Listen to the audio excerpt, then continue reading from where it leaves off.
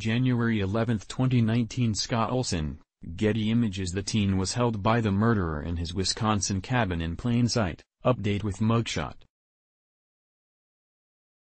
Update, January 11, 2019, 12 p.m.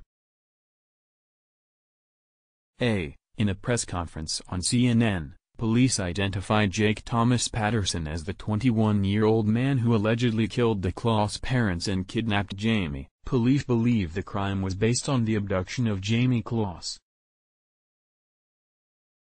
Jayme Closs, the 13-year-old girl who disappeared three months ago after her parents were murdered in what appeared to be a home invasion in Wisconsin was spotted by a dog walker on Thursday wearing oversized clothing and running into the road. Radar Online reveals that a source close to the case said that the teen was held by the man who murdered Closs' parents in a remote cabin after being tortured for months.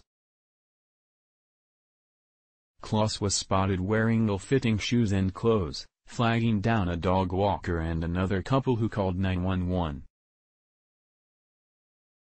The source, who spoke to Radar Online exclusively, said that Closs did what she had to do, it was a split-second decision. It was live or die. Jayme found an opportunity to escape captivity and she did.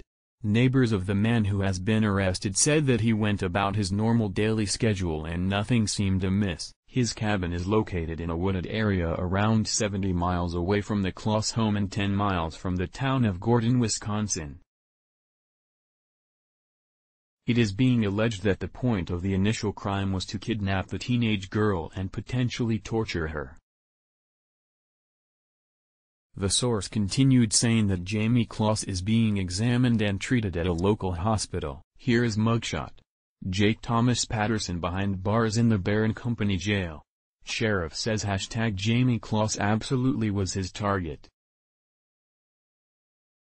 Twitter.com slash W0J70BK2ZR, Paul Blume, at Paul Blume, Fox 9, January 11, 2019 The man had the specific intent to abduct and torture Jayme, she was malnourished and dehydrated. Because the investigation is still ongoing, the source was reluctant to go into great detail about what Closs endured. The things Jayme went through are so disturbing, so demented and sickening that the most twisted horror director couldn't recreate it.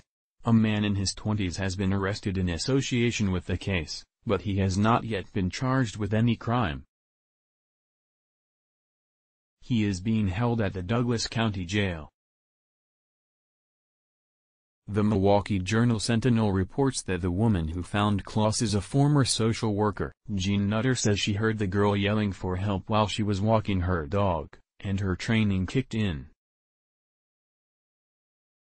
Found alive https colon slash slash t.co slash qzdmqbzwh7, arty, at rt underscore com. January 11, 2019 I went to her and she just sort of grabbed onto me and she told me who she was. I've been a social worker my whole life. I was in child protection, so I believe my, child protection, personality just turned on. My goal was to get her someplace safe, to call 911.